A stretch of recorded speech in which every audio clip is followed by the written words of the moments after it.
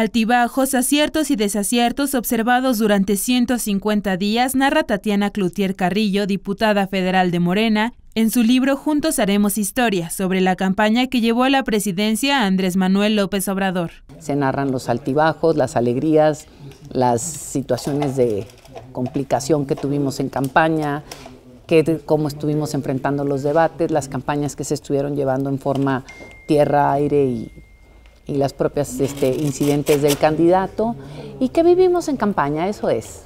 La obra de 300 páginas expone los recorridos que realizó en 150 días de campaña a lo largo y ancho del país, con quien fue candidato y hoy es presidente de la República. Yo la veo en dos vertientes, una la individual y la individual me refiero a la de cada uno de los mexicanos y en eso me voy a referir al libro.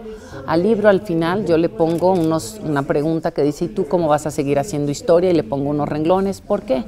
Porque si no cambiamos nosotros como individuos, si no cambiamos como ciudadanos y seguimos esperando todo del gobierno, difícilmente las cosas van a caminar a la velocidad que este país requiere que caminemos. Entonces yo digo, cada quien va a hacer su propia historia y puedes agarrarte de la mano de uno, dos, tres, diez, cien, doscientos para caminar en el sentido que quieres, dependiendo si lo quieres hacer, un cambio individual, un cambio en la colonia, un cambio en la comunidad un poco más grande.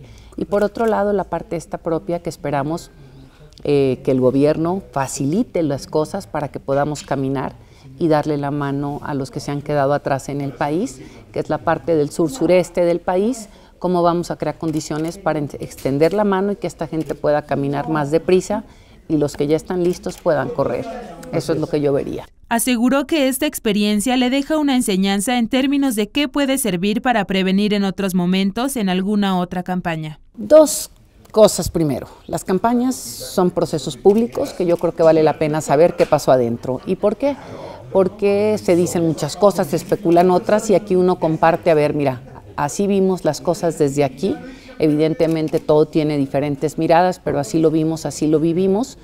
Y también creo que deja una enseñanza en términos de que se puede aprender para prevenir en otros momentos, en alguna otra campaña, que puedes aprender que te puede servir. Y por otro lado está la propia historia narrada que yo creo que nos lleva desde el candidato del 2006 hasta el presente para captar y entender que mucho de lo que se dijo y lo que se hizo en contra del candidato, ahí está abierto, era cierto.